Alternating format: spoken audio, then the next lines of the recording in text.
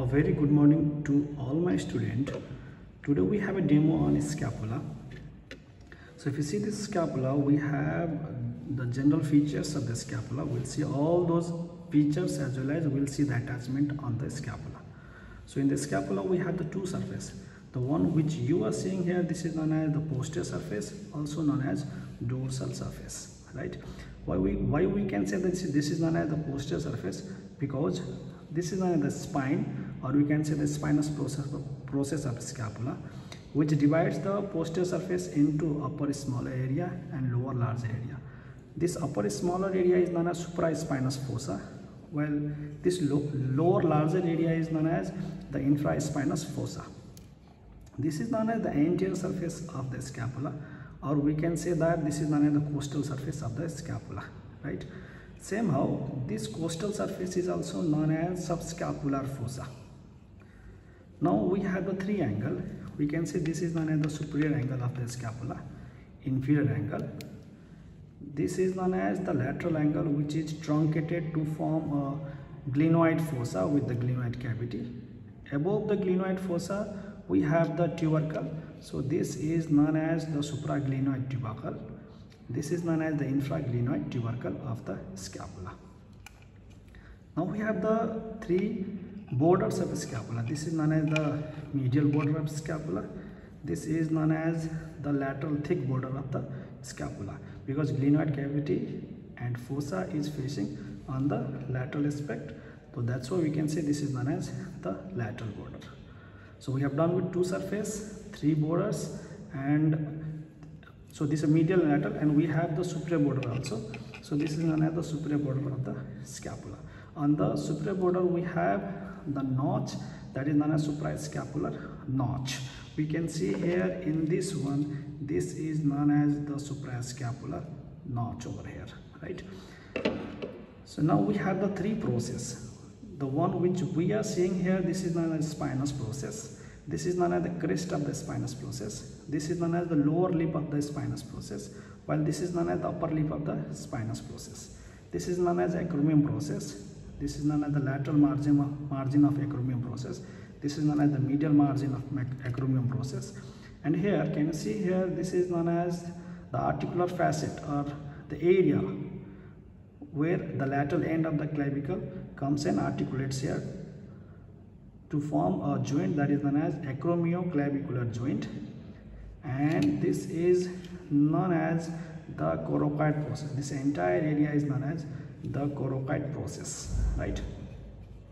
Now what we have to see here is uh, there are so many attachment of the muscles takes place in the, the scapula right? So let's see all those attachment present in the scapula. But before dealing with the attachment, we should know that there are ossification centers present in the scapula. We have uh, total 8 ossification center that is known as one primary ossification center and 7 secondary ossification center. The one primary ossification center is present in the body part and we have the two center that is the secondary ossification center that is present in the coracoid process then we have the two center appears in the acromion process that is the secondary ossification center and we have one center appears in the medial border that is in this medial border and we have again one secondary ossification center in the inferior angle as well as in the lower part of the rim of the glenoid cavity so we can say one primary ossification center in the body and remaining all seven secondary ossification center near the coracoid process, near the glenoid cavity, near the medial border and near the inferior angle of the scapula. Now we have to know the attachment. We'll see the attachment in the, the scapula, right? So if you see the attachment, this is these all are the attachment which is present on the scapula keep in mind the blue the black color indicates that is the insertion of the muscle and the red color is indicating that the origin of the, the muscle now this is the anterior surface this is on subscapular fossa so the muscles which is getting originated is on subscapular muscle this is the medial border anterior surface of the scapula. The muscles which is inserted here is known as serratus anterior. Right? And now this is medial border, again posterior surface.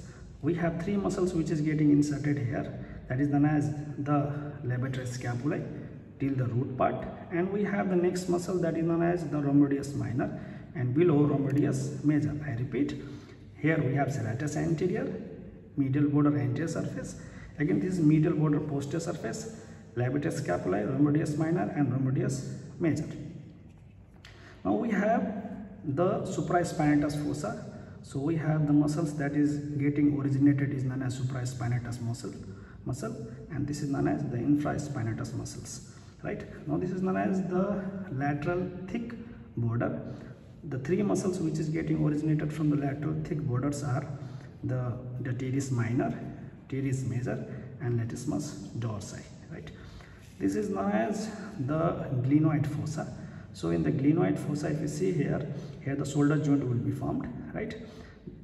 Then above the glenoid fossa, we have the tubercle. So this is known as supraglenoid tubercle. So origin of the the long head of biceps takes place from the supraglenoid tubercle. This infraglenoid tubercle, actually this is red in color actually, right? So here the long head of triceps is getting originated, right? Same how this is known as the coracoid process. From the coracoid process, the three muscles is attached here. One, the insertion of the, the pectoralis minor and we have the origin of the two muscles that is known as the short head of biceps as well as the coracobrachialis muscle is getting the originated right? So i repeat here pectoralis minor insertion coracobrachialis and short head of biceps is getting originated from the coracoid process. And this green color is indicating that this is a ligament which is attached with the clavicle. So this is known as coracoclavicular ligament right? Same how this is known as the upper lip of the spinous process the trapezius muscles is getting inserted into the upper lip of spinous process as well as in the medial margin of acromion process. Now this is known as the superior border of the scapula right and here we have the notch that is suprascapular notch. This notch is converted into a ligament with the help of suprascapular ligament. Above the ligament suprascapular artery will pass below or we can say from the foramen suprascapular nerve will pass and just medial to the notch the muscles which is getting attached here that is known as the inferior belly of homo hyoid right? And is there that is in the lower lip of the the spinous process as well as in the lateral margin of acromion process. So we have the muscles which is getting originated is known as the deltoid muscles. So here the posterior fiber of deltoid here we have the the lateral or intermediate fibers of deltoid is getting originated right? Finally we can say that this is known as the right side of the scapula because we have the spinous process. Spinous process should be always facing backside or in the posterior aspect which divides the scapula into upper smaller part and lower larger part and can you see this one? This is another glenoid fossa which should be always facing laterally forwards and upwards. Can you see this is known as the right side of the scapula right? Here only the humerus will come and articulates here to form a shoulder joint. Thank you